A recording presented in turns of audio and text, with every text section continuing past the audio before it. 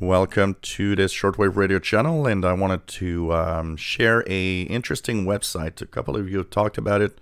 Um, Sheldon Harvey actually sent me the link. Uh, this is a website I didn't know existed, and it's the uh, dxworld.com broadcasting blog. And it is interesting because it has daily updates of logs from different people uh, so you have, of course, the um, news about what's happening in medium wave. So here you see the AM band blog. And of course, you can check it out. There's also the shortwave board where you can actually have all the logs of people listening to different signals on shortwave. This is nice because you can follow in pretty much real time the um, the information of what people are hearing at uh, different times and different dates.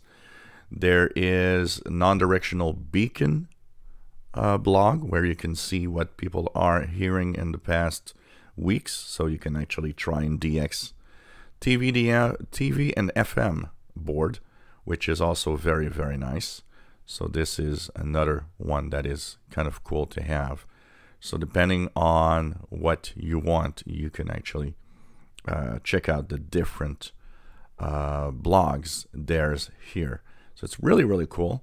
And there's a lot of stuff in there. So uh, check it out. Really, really nice. Uh, some are, you know, updated more than others, but uh, it's kind of cool to have this information here and see the people share all the different logs uh, that are available. So you can click uh, page list here and go on the left side. And of course, you have the broadcast band log, non-directional beacon log, shortwave board.